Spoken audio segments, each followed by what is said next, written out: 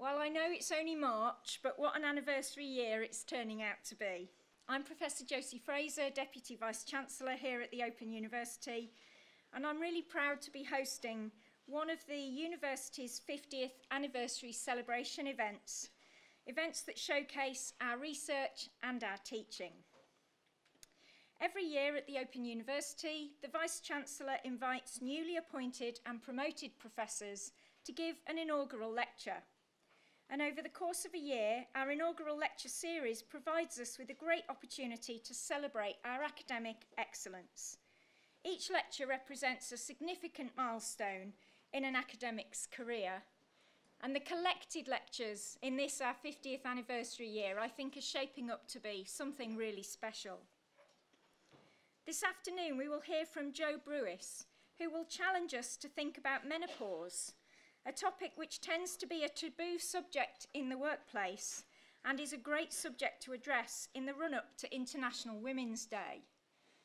I should disclose that the fact that I was 49 last Saturday means I've got an intense personal interest in this topic as well. Jo's going to report that menopause is becoming a more pressing issue. It is affecting the fastest growing group in the workplace and Jo is going to call for employers to pay attention to it. Here at the OU, we're really proud of our track record for research that turns ideas into solutions, solutions that benefit people, business, and society. And I'm looking forward to hearing more about Jo's research as a great example of this. So it's my great pleasure to introduce Jo Brewis. Jo joined the Open University in April 2018, joining the Department of People and Organisations in the Business School. She has previously worked at the universities of Portsmouth, Essex, and Leicester. And throughout her academic career, Jo has been fascinated by the connections between gender, the body, sexuality, emotions, identity, organising, and organisations. And these interests really all coalesce and come together in her ongoing research on menopause and the workplace. Jo is co author of the 2017 government report, The Effects of Menopause Transition on Women's Economic Participation in the UK. And together with colleagues from the University of Bristol, De Montfort University, Starfish Consulting, and Henpicked, which I have to say is my best name ever for a group. She is working with a range of organisations, including the Business, Women's Business Council, the Trade Union Congress, and Sherwood Forest Hospitals Trust, to further the agenda of menopause in the workplace. So it gives me great pleasure to introduce Professor Jo Brewis.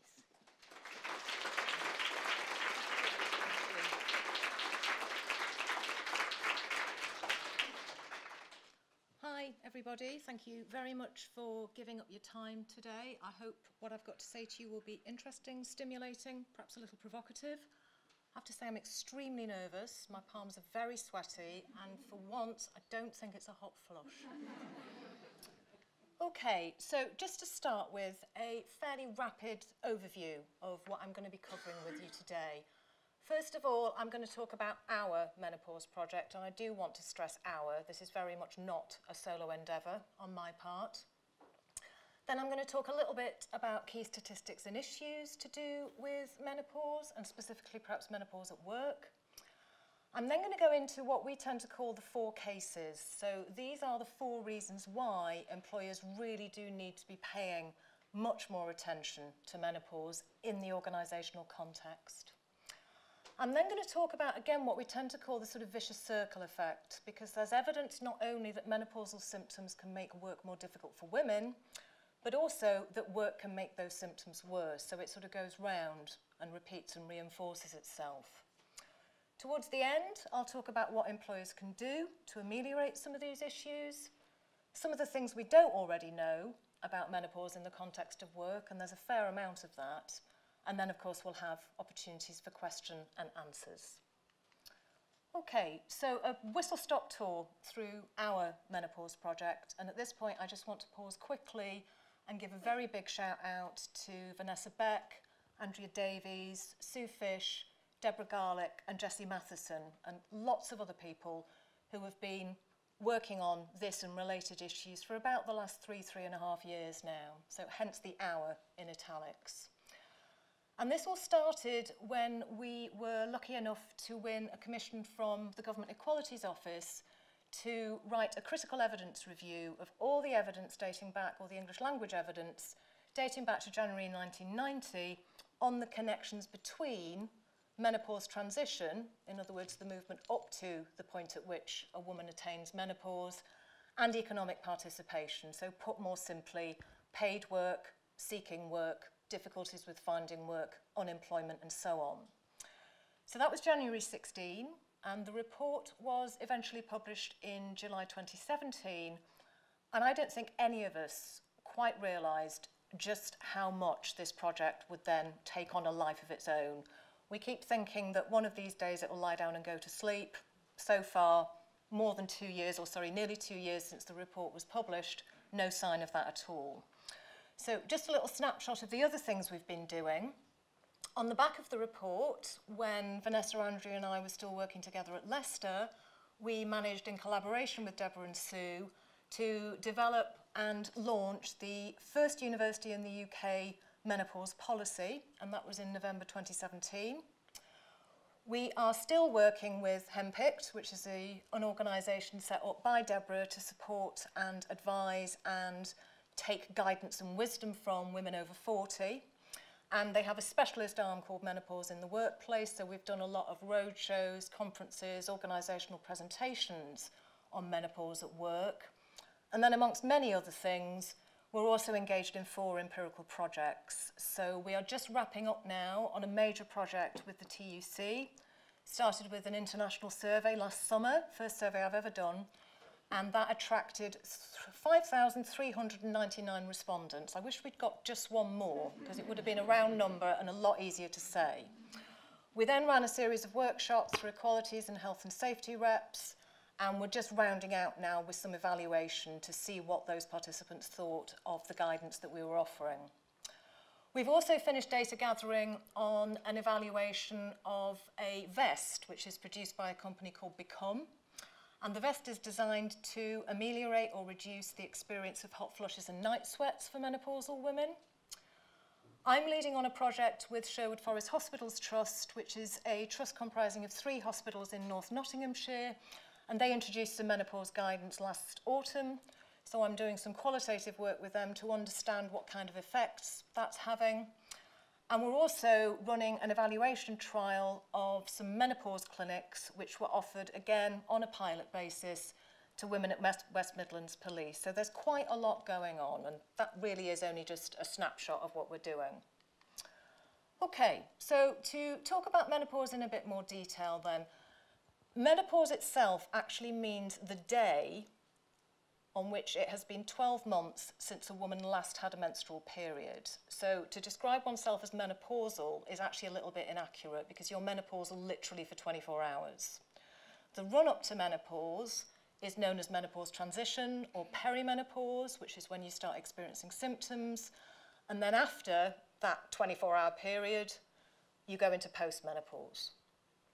So for most women, menopause is a midlife experience. The average age of onset of symptoms is 48, and the average age at which women attain menopause is 51.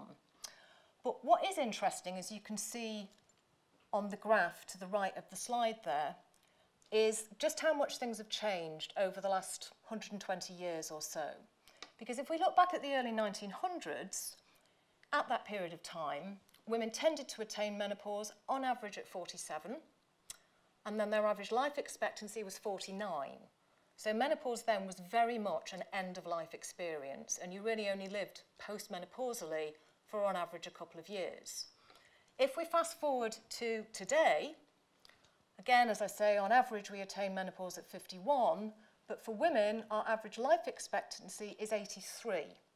So most of us are now living for more than three decades after we've attained menopause, and many of those decades, as I'll go on to suggest, are actually now spent at work. That's not to say, however, that menopause is in any way a homogenous or non-varied experience. It's very, very varied, as I'll go on to discuss. And one of the ways in which it varies is that one in 100 women attain what's called early menopause, which is due to what the clinic clinicians rather charmingly call premature ovarian insufficiency. and you're deemed to have attained early menopause if you go into menopause before 40. In terms of prevalence of symptoms, we can look at some recent data from NICE, these are from 2016, which suggests that three quarters of women experience hot flushes. Hot flushes, apart from very erratic periods, are the most commonly reported symptom of menopause. So three quarters of women experience hot flushes and 25% of those women experience those as bothersome. Now, bothersome is a word that we all on the team absolutely hate because it makes it sound as if there's a fly flapping around your face. And if you just bat it away enough, it'll disappear. Bothersome covers a whole range of different experiences and at the extreme end these symptoms not just hot flushes but other symptoms can actually be disabling literally they really do affect somebody's quality of life And just before I move on, there's a reason why those little asterisks are there on women on the bottom bullet point there, because it's really important to say that I'm using women, she, her, hers, and so on in this lecture as a placeholder. Because actually, to use a very technical term, anybody with the correct biological plumbing can experience menopause. And that will include a lot of people who identify as trans men, agendered, gender variant, gender non-binary, gender fluid, and so on. So just an important caveat before I move on. I've already suggested that menopause is an extremely varied experience. It is quite literally unique to every woman that experiences it. So in actual fact, it's not very accurate to talk about menopause full stop. We should really be talking about menopause is, so hence the capital S on the slide there. And we can start to explain just how varied those experiences are if we actually set aside the biological or the medical model of menopause. Now, that's a model which is very much based on fluctuating hormones, so hormones including estrogen, progesterone, and yes, testosterone, starting to go, another technical term, slightly bonkers in midlife. But that's to base the analysis, the understanding, the diagnosis, and the treatment of menopause purely on biology. And actually, there are really some quite strong data which tell us that that is not sufficient. Apart from anything else, the medical model talks about failure, decline, deficiency. It's hardly the most positive and rose-tinted image of midlife for women. What we tend to use in the team is another approach, which is the biopsychocultural approach. And that, of course, acknowledges that biology is important, that hormones do play an enormous part in women's experience of menopause. However, what the biopsychocultural approach also insists on is understanding the experience of those symptoms in the context of a woman's own psychological makeup. So, for example, her attitudes to aging, and also in terms of the socio-cultural context in which she lives. Again, in terms perhaps of how that particular society or community views women as they get older.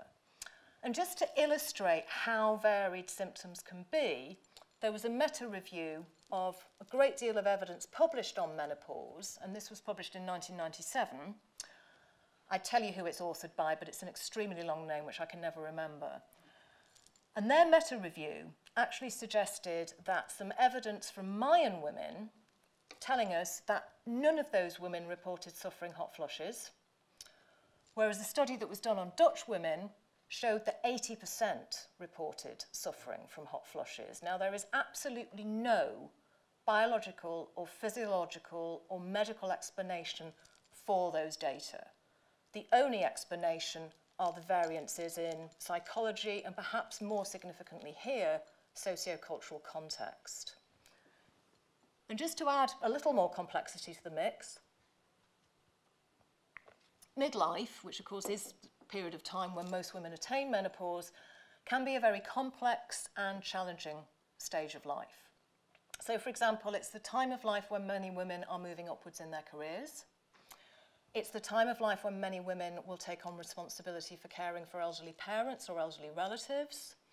Increasingly now, because women are having children later, it's often the case that midlife women will have teenagers at home. So actually, trying to unpick what might be the effect of menopause and what might be the effect of all the challenges of midlife can be a really complicated process. I think it's really important to understand it as a very multifaceted time in anybody's life, but perhaps women most specifically. Now, I've been banging on about the menopause now for over three years, so it really doesn't phase me at all to talk about it. I talk about my symptoms freely, probably too freely for a lot of people. But I think it's still true to say that despite growing interest and some very, very positive moves by employers, which I'll talk about in a little bit more detail later on, I think in general, and especially in what I would call the global north, menopause is still regarded as quite sensitive private to the woman who's experiencing it, even taboo, a bit, oh, too much information. Older women, please. Older women have bodies. So there isn't a great deal of discussion about it even now. And I think that's especially the case in the workplace where we are expected to be professional, we're expected to leave our bodies, our emotions and so on at home and to be always rational and very cool and, you know, calm demeanour. However, we think there are four very good reasons why that should not be the case and why employers really do need to be paying more attention to this very natural, very normal for most women, universal experience. And the first of those is the demographic case.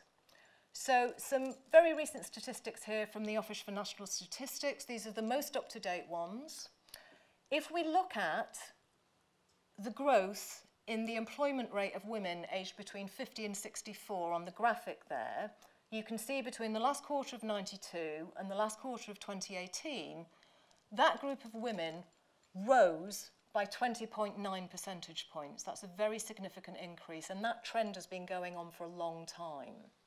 If we look at the comparative increase for men, we can still see that there is an increase there, but it's only slight, slightly over half the increase for women. So midlife women are returning to or staying in work in very, very, very much greater numbers. I've been watching these statistics now for, for about three years. They're released quarterly. It's not changing. If we look at the United States, we can see something very similar. So there, 28% of the female working population aged between 50 and 64 sorry, let me try that one again. 28% of the female working population of over 16 are women aged between 50 and 64. That's something like 20 million women. And that's current population survey data from the United States from 2017. Similarly, if we look at Australian data, and this is from the OECD, we can see similarly dramatic rises as the ones we've seen in the UK. So these participation rates are for Australian workers between 55 and 64. We can see a 10.2 percentage point rise for women between 07 and 16. And we see that the equivalent rise for men is less than half, 4.2 percentage points. The final bit of the demographic case for employers to pay serious attention to this are two things. One of them I think will be familiar to most people in the audience, and that's the gender pay gap. So the gender pay gap for 16-17 was 18.4%. In other words, women earn, on average, 18.4% less than men. What's also interesting about that is that the most significant gender pay gap is for men and women aged between 50 and 60. So women aged between 50 and 60 are even further behind their male counterparts than the average of 18.4% suggests.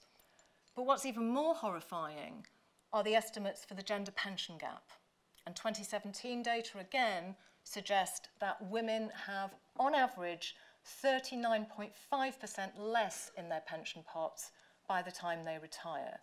Now, some of that can be explained away by the fact that until recently, women had a lower retirement age than men. Obviously, the mandatory retirement age has been abolished now.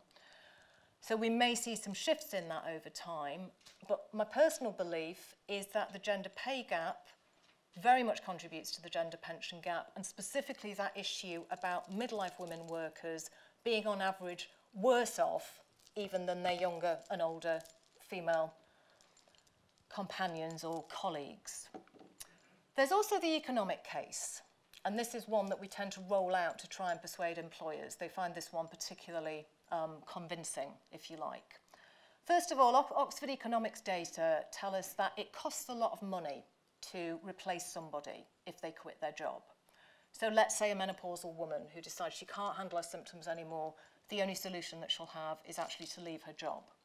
Now, if you look at the graph there, the Oxford Economics number crunchers tell us that if somebody earns £25,000, this is in the UK, which is also quite a long way behind the median salary in this country, which is over 29.5k a year, to replace somebody on 25k is going to cost the employer £30,000, or to be more accurate, £30,614. And that's the direct cost of recruitment and selection, but it's also any cost of training up a new employee, any lost productivity while they get up to speed, any burdens that their colleagues are carrying while having to cover for them while they get fully socialised.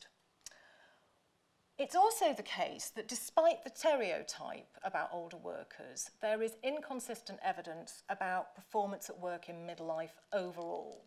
So the stereotype is that older workers start to decline in terms of what they're able to bring to work and the level of their performance.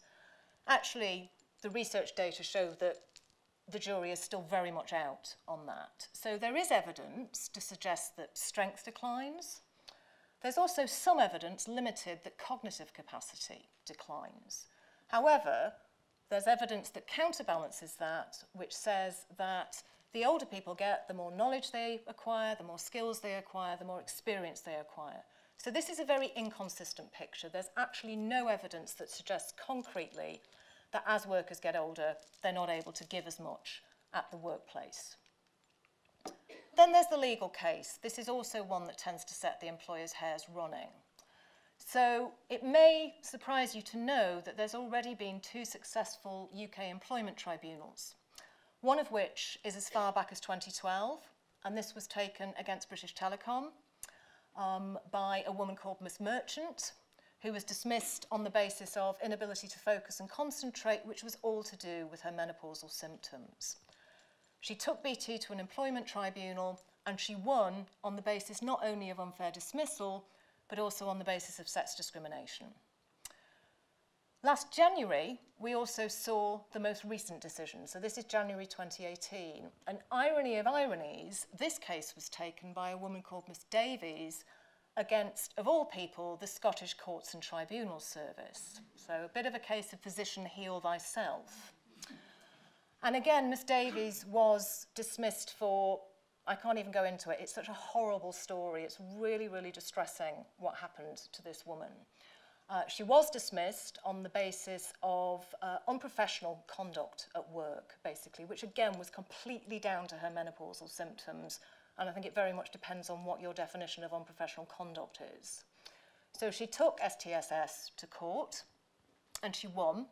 And again, she won on the basis of unfair dismissal. But interestingly, the second part of her case was disability discrimination, which she also won. Now, it's important, I think, to emphasise that the menopause is not a disability. However, as I said earlier on, for some women, the symptoms can be incredibly disabling and can very much fit the legal definition of a disability. So the Equalities Act, which was passed in 2010, covers gender discrimination, it covers disability discrimination, and it also covers age discrimination, each of which could be the basis for a claim about something that's happened to somebody on the basis of their menopausal symptoms in the workplace. It's also worth pointing out that we've had health and safety at work legislation almost as long as we've had protection on the basis of gender, dates back to 1974, and there's been various updates of that health and safety legislation since then, and what the law basically says is that employers have a duty of care to ensure their employees' health, welfare and well-being at work. And you can actually conceive, although this hasn't happened yet, that somebody could take a case of a breach of duty of care if an employer wasn't paying sufficient attention to menopause in this context. And then finally, this is our favourite case, the social responsibility case. This is the because it's just the right thing to do case. We can see, for example, that the survey data which were collected by ITV in conjunction with Wellbeing of Women, and this was in November 16, uh, these are really quite horrifying, I think. So 50% of the women that responded said that work actually made their menopausal symptoms a lot worse, and 25% of the women who responded said that they'd seriously thought about leaving their jobs. So that's a very, very large number of women who are not coping at work because their symptoms aren't being accounted for. There's no support in place for them. It's also true that in order to continue working for as long as they would like, women may well need support for a short period of time to be able to cope with their menopausal symptoms. And if they are able to continue for working as long as they wish, that may help us to start to address the gender pension gap and to make sure that they're able to enjoy financial security once they leave work. And perhaps even more persuasively, there's also evidence to suggest that employment for midlife women is a really important element in their mental health because it provides them with a very good source, first of all, of social support and secondly, for self-esteem. So, this is our kind of banner statement. We need to normalise menopause at work so that it becomes as unremarkable a topic of conversation as risk assessments during pregnancy or arrangements for a woman returning to work after maternity leave. So, I'm now going to take you into the vicious circle part of the lecture and I'm really what I'm going to do here is give you um, a little bit of a sneaky peek into some of the preliminary data that we've been gathering from our empirical projects. So the first slide here is about how symptoms can affect work. And based on our TUC survey data, we came up with what we rather laughingly call the top five. So these are the top five symptoms that came out as creating particular problems for women at work. The stats that I'm going to put up, I say stats, they're percentages, are based on the 72.5% of women, sorry, 72.5% of respondents to the survey who identified as either perimenopausal or postmenopausal so that's something of the order of 3,900 women. Okay, so the percentages here are of just slightly less than 4,000 women. Coming in at number five, insomnia. 29.5% of those women said that was a real issue for them at work. 31.9% said anxiety and worry was a symptom that really affected their quality of working life. Then we have focus and concentration. Hot flushes, and perhaps surprisingly, at least to us, fatigue, because quite a lot of the workplace data pinpoints hot flushes as the most significant symptom. But you can see that fatigue actually outstripped that by knocking on 6% or so. I've also got some qualitative data, and this is from the West Midlands Police study. So this is Kate, who is um, a staff supervisor at West Mids, and she's talking about how fatigue causes her to be emotional, and it also affects her memory. She says, I need to remember things, I'm dealing with staff, we have regulations, policies and procedures. And she says that her tiredness, leading to a lack of focus, making her more emotional, has really knocked her confidence. So now she writes everything down, she ticks it off, she's double checking, and she constantly second guesses herself. She says, I make decisions all day, every day. My work is fast paced, it's quick, and my brain doesn't work that fast anymore. And she says it's frustrating more than anything else because two or three years ago I could do my job standing on my head. This is Josie, who is a detective, and she's talking here about her hot flushes. So she says, I know I can get quite a lot of colour quite easily, and I'm very conscious when I have a hot flush, my head must look like a boiled beetroot. Now, she hasn't actually gone to check what colour her face goes, but she says it does worry her because she's kind of, you know, do people see this? I feel it so intensely, I can't believe that other people wouldn't notice.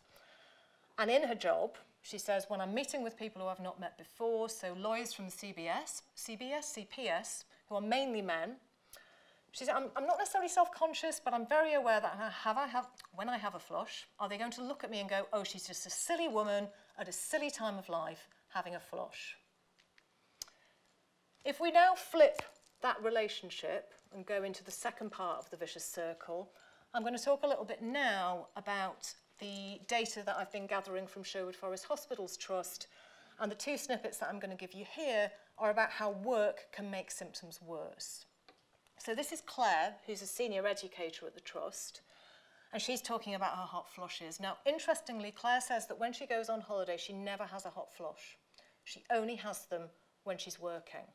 And she says stress brings them on so easily. And she says it can only be low-level stress, doesn't have to be anything major, just something that really requires my attention quickly, immediately I have to put my fan on. And she says, I feel very conscientious about my role. I want our department to do the best possible job that we can. So if there's anything else that needs attention, it immediately affects my temperature control and I can be up and down like a yo-yo within a day. This is Alison. Now, Alison is a nurse on a rehabilitation ward at one of the other hospitals in the trust, and due to my complete techno-idiocy, I couldn't get the recording device to work, which is why the, these are more field notes, if you will. So at Sherwood Forest, there's a policy that says that when nurses are on the ward, they have to be in view of patients at all times. And this is sort of all part of providing excellent standards of patient care.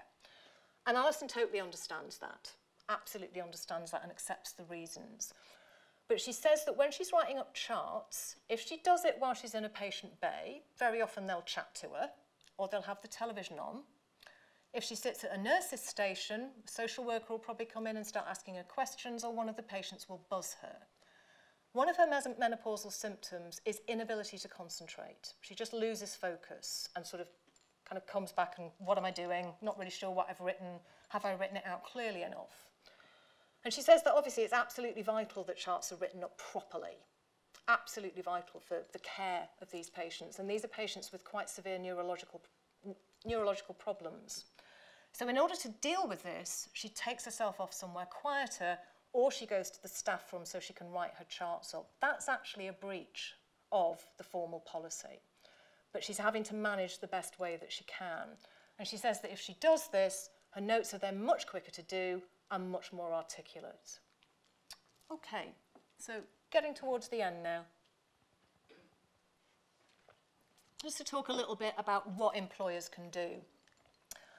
The Equality Act stipulates that employers should make reasonable workplace adjustments for people who belong to the protected categories. So, for example, women, people who are older or younger at work, people with disabilities. And this is really the kind of thing that we're advocating, reasonable workplace adjustments, some of which are very cheap, very quick and very easy. To begin with, though, no woman should be forced to disclose her menopausal status or any symptoms that she's experiencing at work. That would be totally inappropriate. It should always be her personal choice. Another decision an employer will need to make is just how formal they want to be. So in some organisational cultures, like the University of Leicester, for example, a policy was the only thing that would have stuck. If we'd called it guidance or something similar, it just would have been ignored. Whereas at Severn Trent, the decision there was to call it guidance. And that's very much the case at Sherwood Forest as well. They felt that the organisational culture there wouldn't take kindly to yet another piece of paper or something else entirely. That's very much dependent on the kind of culture that exists within that workplace. And indeed, culture is absolutely vital in order to make any of these thing, things stick. You can have all the policies and guidance in the world, but if the workplace culture, if the norms and beliefs and attitudes don't start to change around accepting menopause as normal and natural and just a stage in a woman's life, then really you're onto a bit of a losing battle there. So it's really important that awareness is raised through education, and that's education for everybody at work, including midlife women themselves. I mean, I will freely admit that I had no idea that I was menopausal until I started working on this project. But what is interesting about normalising menopause at work, which is the expression that we always use, is that very often we find that employers are pushing on an open door. That as soon as they start working in this area, there are lots of women across that organisation that will just go, thank God. And I'm seeing this in all the projects that we're doing. I was coding some data from West Mids, the West Mids Police Project this morning, and that comes out loud and clear. We're so pleased that they're taking this seriously. We would advocate training for line managers in things like reasonable adjustments, in listening skills, sensitivity, how to have difficult conversations. We would advocate occupational health and other specialist provision, perhaps employee assistance programs. We'd advocate tailored absence policies that take account of menopause and don't allow a day off here and there because of menopausal symptoms to be treated as something that might escalate into a performance management issue. We'd like it to be badged as an ongoing health condition and dealt with accordingly. Informal support groups, for example, the menopause cafes that have been running at Leicester for about the last 18 months have been extremely popular. Flexible working arrangements, coming in late perhaps if you've had a bad night's sleep and making up the hours at another time. Worth pointing out that everybody in this country who's worked for the same employer for six months has a legal right to request flexible working arrangements anyway.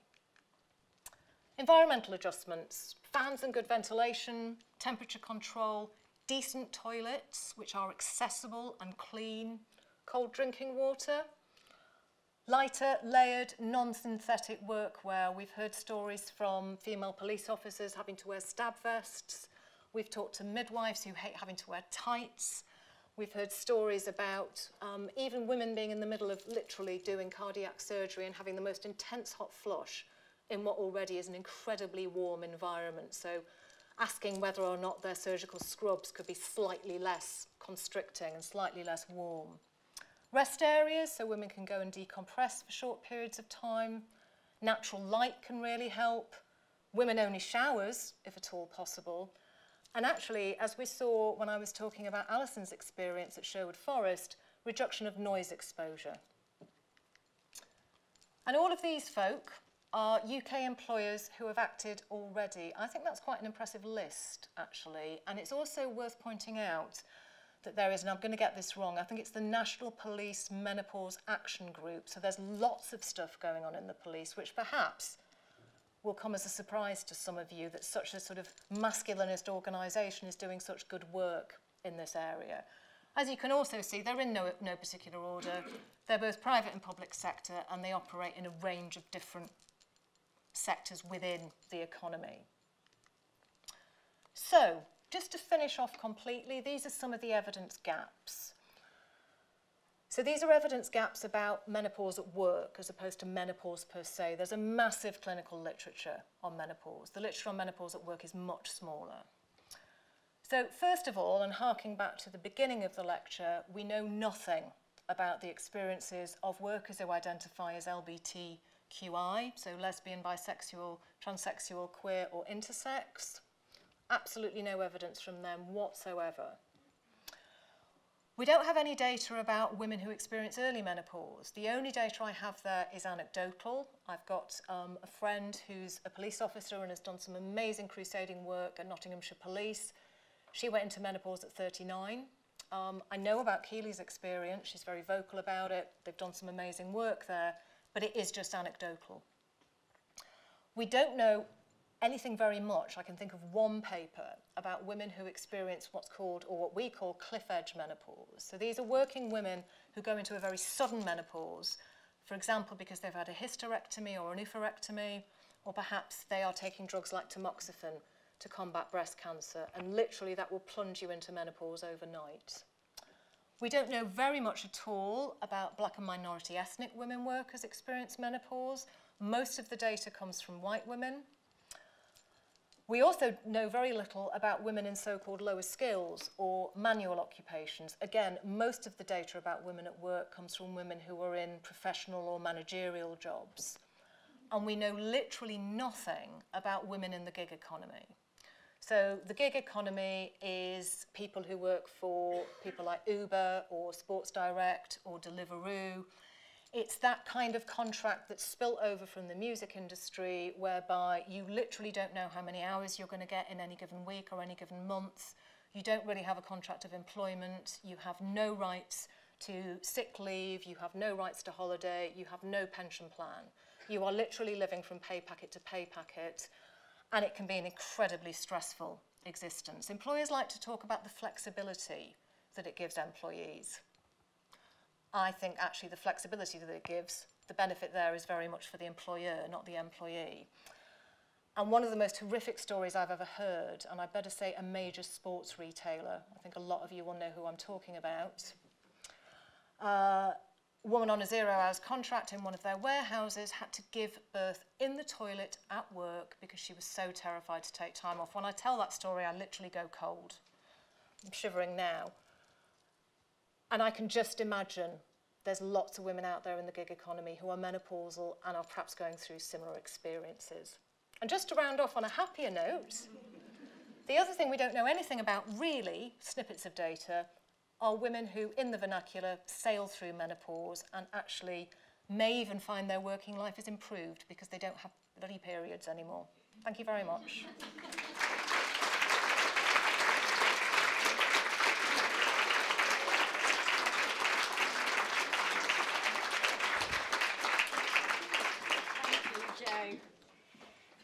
So, what a fantastic lecture. Thank you very much. Now it's time to hear from our audience. So I think we'll go and sit over there and take any questions or comments that the talk has raised.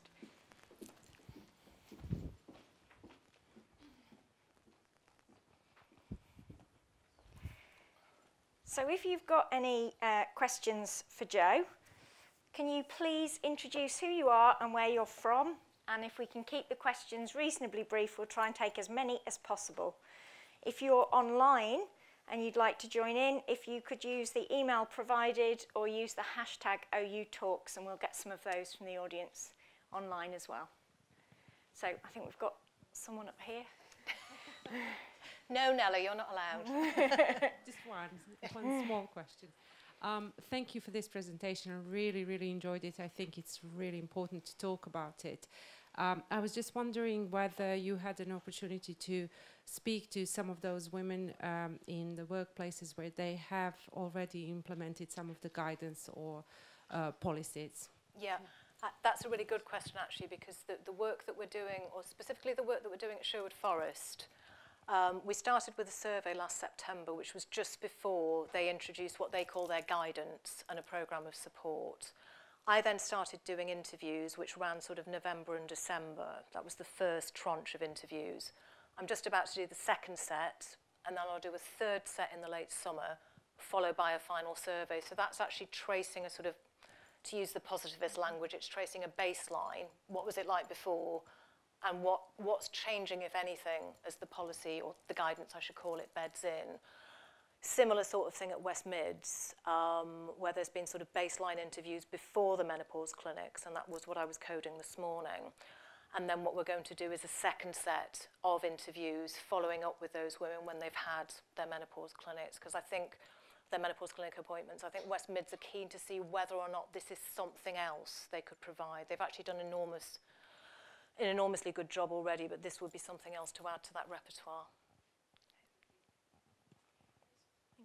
Uh, good afternoon. That was fantastic. Thank you so Thank much. you. And great to get a lot of what I already knew confirmed. Um, my name's Lauren Sheeran. I'm an executive health coach and I do some menopause training in the workplace, largely in financial services. But I work with um, executive women who are at the peak of their career and suddenly, silently struggling with menopausal symptoms. And it's very difficult to access those women because they typically don't know how or want to be seen to be asking for help what I tend to find is working really well is working with lifestyle factors. and psychology background and as well as being a coach, and um, very much looking at the back to basics with hydration, nutrition, stress management, relaxation, etc. And I'm just curious if you've looked at any of the lifestyle factors because when you put the Mayan Dutch slide up, it would strike me that Yep. on the Western world that lifestyle factors are highly contributory towards the significant uh, symptoms I'm seeing in a lot of clients. Yeah, I, I think that's absolutely right, and I, I would really reinforce that. Um, I suppose our focus is primarily on what happens at the workplace, but I absolutely take your point, Lauren. In fact, um, we've talked to some very senior women who say, you know, the, I, I could not possibly, because if I came out and said I'm menopausal, it would destroy my credibility in my organisation, which I've worked so hard to build up. Um, it's, a, it's a fine line, though, isn't it? Because I think that it's really important um, that women are aware of what they can do for themselves. And you're absolutely right hydration, diet, exercise, stress relief. I take a lot of supplements. Um, I don't eat certain things now. I concentrate on eating more of other things. And that's one very important part of the equation. But I think that there are other things as well. So it's important that they're supported at work. I think there's also quite a lot of evidence that GPs aren't particularly well equipped to advise women on menopause and actually in a 10 minute appointment when you've got a really busy clinic and it's been like 20 minutes of your training, what are you going to do? And I think I'd also like to, you know, the small ambition here, but to normalise menopause just in everyday life, really. Um, so that it isn't that taboo subject, isn't, it isn't sensitive. So I think it's a kind of many-pronged attack if that makes sense. But you're absolutely right, lifestyle is really, really important. And we're working with Maryon Stewart. I don't know if you've come across Maryon. So uh, Maryon's very much on the, the sort of natural side of things. So it's a lot of supplements and diet, really. Hi, is um, no chins, no. it's Cinzia Priola. I'm a senior lecturer in the business school and a colleague of Jo. Um, I don't want to put necessary. Thank you very interesting, by the way. Uh, really enjoyed it. I don't want to put our organization on the spot, but I'd like to know what is the OU at 50 doing about the menopause work. So now Paula, Helene and Babette are ringing Ladbrokes going, right, our bets come in. Um, this, this was the one question which, which they said I would get. Now, I think what is very good about the OU is that quite a lot of the stuff that I think employers should be doing is already here. However, it's not badged as for menopausal women. Mm. And whether that's good or whether that's bad, I think we can have a debate about it. I think what it does mean is that perhaps, unless it's very visible, like the cold water fountains and the showers, I think sometimes if it's, if it's not visible and in front of you, then it can get hidden in a morass of HR policies and procedures. Uh, we don't have anything specific on menopause. However, I know that with all the movements towards upping our Athena Swan accreditation in some parts of the uni and getting Athena Swan in other parts of the uni, sorry, Athena Swan is a gender equality award, um, specifically for higher education. Um, there are discussions that are taking place. They're at a very early stage but it won't surprise you to hear that I'm doing as much shoving in that direction as I can. Which I can promise to join in with. Um, I, I, think you will be pushing on an open door here That's as well. What I Absolutely. Yeah. Yeah. Yeah. Sorry, we've got one online here. Yeah, so sort of um, thank you, Jo. That was really, really well received on Facebook. And a lot of the comments that people are making are sort of backing up a lot of the evidence that you've been showing us. And one of the questions that's sort of coming up, this is not, not dissimilar to what we've just had, is how can people start those conversations with their employers, especially if it's a smaller employer? We've got people who are you know, really embarrassed and don't really know where to begin. Have you got any advice for them? Yeah, I can understand that that's a really difficult one, um, and especially in the small and medium-sized um, company context. And actually, it's just occurred to me that that's another evidence gap. We know very little about the experience of women who work in that sort of environment. And I think I'm right in saying that SMEs far outstrip, in terms of numbers, bigger employers. Now, of course, bigger employers employ more people, but you're more likely perhaps to be working for a SME than you are to be working for a larger organisation. Um, and again, these aren't necessarily tactics that will work for SMEs, but some of the things that, that we've seen work quite well um, are champions. So if you get a group of women together who are really quite determined that things are going to change, if there is a collective, that can be a quite useful way to start pushing things in the right direction. So not one woman on her own, because I think that's too much to ask, but a group of women who are willing to go to perhaps HR to begin with and start those conversations off. Um, something else which we found helpful, and certainly I think this worked well at Leicester, so when we launched the policy, it wasn't just people who worked at Leicester giving the presentations. We also had um, Deborah Garlick and Sue Fish in the room. And it wasn't because they'd worked with us on the policies, it was completely logical that they were there and that they presented on various aspects of what we've been doing.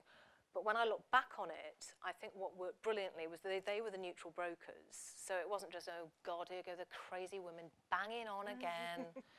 um, the other thing that I think it was, it was either Eon or Severn Trent, I can't remember which, but I absolutely love this. Um, and this is something that can be done with almost no embarrassment to anybody. you basically get people, excuse me, to um, send in questions anonymously. And that also worked really well at Sherwood Forest. Um, they developed an app that people could use just to fire questions at the speakers. Didn't have to identify themselves, didn't have to say why they were asking, but it got the conversation going. I have to say, though, that especially in the larger organisations, and especially in organisations where there are a lot of midlife women, I think as soon as these conversations start to happen, the open door will, will swing. Um, having said that, I think the other thing that people can do is just set up informal support groups. They don't even need to be physical. They can be online. There's loads of good groups on Facebook um, and Twitter and so on. But it wouldn't take very much for women to set up something for themselves, even if all that was was sharing experience, because some of the other data that we're seeing are that women find it so comforting when they realise it's not just them. First of all, they find it comforting when they realise they're not going mad and they haven't got some awful disease. And secondly, they find it comforting when they realise that lots of other women are going through similar sorts of things. So I think we've got another one over there. Hi, I'm Susan Cara. I'm Senior Employment Development Oh, Manager. Hi, Susan. and um, for and I work for the OU and currently I'm doing research into menopause in the workplace and employment. So when we were talking about the door being open, it is well and truly open. And I'm working with Dr. Christina Schwabenland, who I think Yep. you know as well. Yep. One thing I wanted to ask you is um, a lot of the respondents seem to be concerned about the embarrassment or being embarrassed in front of men and male colleagues. Do you think it's important to get the male perspective on how they actually perceive it? Absolutely. Is it how we perceive it rather than what they actually think? Yeah, I think that's absolutely right. Um, I think that, you know, it's, and I can look round today and see that there are a lot of women in the room, but there's also a fair sprinkling of men, which is extremely positive. One of the things that we noted in the report actually was that there was a lot of, I can't tell my manager because he's a man, I can't tell my manager because he's a younger man, and he just won't be able to handle it at all. But what we're also starting to see now in some of the primary data that we're gathering is counter evidence, where, and again, some stuff I was coding earlier, a woman who, um, a woman at West Mids who had a cliff edge menopause because she had a hysterectomy. And she had a terrible time when she went back to work because her female supervisor wanted to insist that she worked a certain shift pattern, and that just didn't fit with her symptoms. And so she really had to push and push and push. And eventually she got switched over into another team. And now her supervisor's a younger man. And he's absolutely fantastic. She says he you know, couldn't be better. He's so much more understanding than she was, despite the fact that she was the same age as the woman who was experiencing the symptoms. So I think it's absolutely vital to get the male perspective. And I think it's also really important that, you know, one of the other sort of slogans we tend to use, and it sounds a bit mad when you first say it, but we, we always say that menopause is not a woman's issue. And what we mean by that is menopause is not just a woman's issue. It's really important for everybody to understand what this is. I mean, kids aren't taught about it at school. Even GPs don't get a lot of training about menopause. And of course, in lots of ways, if a woman's having a particularly bad time with her symptoms, that is going to spill over into other people around her. It's going to spill over to her family, her kids, her friends, her colleagues, her managers, who will be all ages and all genders. So I think it's very important to get the male perspective, which rightly, as you say, Susan, almost certainly isn't quite as horrendous as we like to assume. But it's also important to understand that symptoms might be experienced by a woman, but can have a knock-on effect to those around her. So I know we've got lots of hands up, and should we take an online one next, and then I'll go. I think you've been, had your hand up for a while in the middle there. This one has come in on live stream from Lydia Lauder, um, Quality Manager, Careers and Employability Services at the Open University in Manchester. How do we know that anxiety in the workplace is linked to the menopause rather than general workplace stress? What are the symptoms of menopausal anxiety in the workplace from your qualitative data stroke case studies? Yeah. Um, well, Lydia, first of all, um, I think that's a really good question. Um, and it, I'd kind of like to go back to slide two or three, I can't even remember now, when I was talking about the complexities of midlife and the biopsycho psycho, psychocultural approach to menopause. The answer is it's difficult to tell. The evidence that we have, though, is the step change. So, for example, again, to go back to the West Mid stages, only because it's so fresh in my head, um, and I've seen this at Sherwood Forest as well. Women self-reporting, fair enough, but then you can only ever self-report your symptoms, really. Um, but saying, you know, I, I always used to be quite happy-go-lucky, I used to be quite calm, I used to take life in my stride, and suddenly I'm a nervous wreck. Or suddenly I'm snapping at everybody and walking around being, you know, a real bully and people are noticing. Um, I got, and, and this isn't to do with anxiety or, or psychological issues necessarily, but um, I had a woman tell me, very senior woman at Sherwood Forest, that she'd switched jobs basically halfway through what she thought was her lead up to menopause. And her cognitive problems are really quite serious. And she's really worried that the people around her think she's an idiot because they didn't know her before.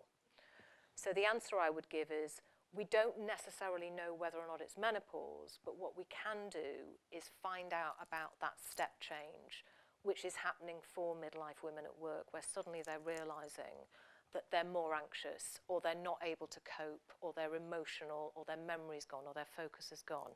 And that really is a two, three years ago, I used to be able to do this job standing on my head, going back to one of the police correspondent, respondents, and now they're really struggling.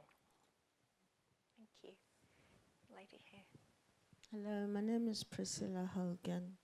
Uh, thank you, Jo, for your informative uh, research. I'm very pleased to read that. Um, my question really is so simple. In your research, have you found uh, about how old a woman needs to go to until the menopause stops? Thank you, Priscilla. That is the $64,000 question, or at least it's one of them. Um, the answer is, I'm sorry, proper academic answer here, it depends. And it really does depend. Um, it's important to say that some women literally do sail through menopause. So the only change they notice is their periods go a bit haywire for a while and then they stop. Okay? The average in terms of symptoms to menopause itself, as I said, was three years. Afterwards, it can be anything up to 12, 15, even longer. It's unusual, it has to be said, for symptoms to go on much longer than six or seven years after menopause, and not all women get postmenopausal symptoms. But again, I've talked to women who are in their 70s, still taking HRT, um, and they say, believe you me, if I wasn't in HRT, you would not want to be in the same room as me. um, now, I think that is the rare case going on for so long. Um, and again, it's extremely variable, and we don't really know exactly what it is that explains all these different um, experiences that women have. But I would say you could expect symptoms for something like two to however many years after menopause. It is unusual for them to go on later than about five or eight years, though. I'm not sure if that's reassuring or disturbing. it's a mixture of both. Over there. Thanks, Julie. Hello, my name is Christine Davies. Um, something that's not mentioned, which does really affect women in the workplace, and that's actually coming up to menopause, and that's women often suffer very, very heavy periods. Yeah. Um, and no allowances are made at work for having to have more breaks or perhaps not even being able to turn up at work and which is Yeah. very very embarrassing can that not be included in in this Yeah, I mean, it, it's interesting. I'm fully with you there. Um, one of the things that we have tried, without success, it has to be said, to advocate for is actually free sanitary provision. And with the um, kind of acknowledgement now that period poverty is very real in this country and it's affecting hundreds of thousands, if not um, millions of women, then we thought we could maybe hook onto that and persuade employers that this would be a good thing to do. It doesn't seem to have got much traction. I think the, the issue, though, is that any of the um, issues around having access to clean, comfortable and decently equipped toilets, having access to rest areas, flexible work and so on, would also be ways that women could ameliorate or at least not have to be at work when periods were really, really problematic or being able to cope at work when periods were really problematic because we've read um, data in other research that talks about women wearing two or three maxi pads and a tampon just in case they flood, which is the term that's used when your period starts very suddenly and very heavily. We've heard stories about women only ever wearing dark clothing to work. We've heard stories about women stockpiling sanitary towels and Tampax at work. Um, we've also heard, and this is kind of comical but kind of awful as well, um, that women also find ingenious uses for sanitary towels. So one woman we talked to used to strap them under her arms to help with her hot flushes. So I think you're absolutely right, Christine, that heavy periods, or perhaps more accurately, erratic and often heavy periods, can be a real issue. We know a lot about how women manage themselves. Employers don't seem hugely willing to make provision for sanitary wear, but I think, as I say, some of the other things that we're advocating for, some of which are legal entitlement anyway, at least in terms of requesting flexible work, would at least help women to deal with that particular symptom.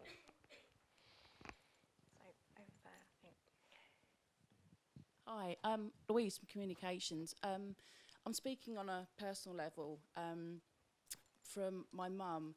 Um, I was just wondering what your views are were on HRT and the fact that a lot of um, GPs nowadays refuse yeah. to actually prescribe it. My mother um, had a cliff edge menopause, was given HRT and then had a hysterectomy and 20 years later she's still suffering. Um, what are your views on that? That's a really good question. Uh, what I will say is that I am not clinically trained. No. Okay, so I, I, I, I wouldn't. Um, I don't want to give advice or any kind of recommendation. I, I, my opinion, based on the reading that I've done and people that I've talked to, is that there were some very, very, very scary stories about HRT in the early 2000s, specifically about its connection with breast cancer. Um, I think those stories haven't exactly been discredited, but what seems to have emerged latterly is a sense in which the data were leaked too early and actually the proper analysis hadn't been done. Now, I don't know if anybody saw the Mariella Frostrup programme a couple of months ago. I won't say what I thought about it, but um, no, when I've had a glass of wine. um, one of the things that they said on that, which I thought was really important actually, and that was proper scientific data, was that actually the risk factor of HRT in terms of its contribution to breast cancer, it's there, undeniably it's there, but the real risk factor is alcohol and above that obesity. Um, HRT is like anything else. Um, you maybe have to try a few before you get one that works for you. Um, the NICE guidance on prescribing HRT, which came out in 2015, I think is actually extremely good. It's very, very thorough, but it's a great big fat thing. And even though there's an executive summary, GPs don't necessarily have the time to read through it. And there are lots of GPs who will say things, I'm not prescribing you HRT because it causes breast cancer, I'm not prescribing you HRT because it has other side effects, or I'm going to put you on HRT, but you can only be on it for a very limited amount of time. Now, all of those things have some basis in truth, but it's actually quite slim. I think there is a lot of misunderstanding of HRT. I don't take it myself, but I would say categorically that if my symptoms got really bad, I would happily go to my doctor. He's already indicated that he would prescribe it for me, and I wouldn't have a problem with that. Um, it just, it doesn't work for all women. It can have side effects. And yes, there are risk factors, but there are also protective factors. So there's evidence, I think I'm right in saying, that it can guard against osteoporosis, which is very common in postmenopausal women. Your poor mum, I hope she manages to get some help of some sort. Yeah, I bet it is. If you, if you email me, I can give us some links to some naturally type stuff, which may or may not help. So, thank you very much, everybody, and thanks especially to Jo for an excellent lecture.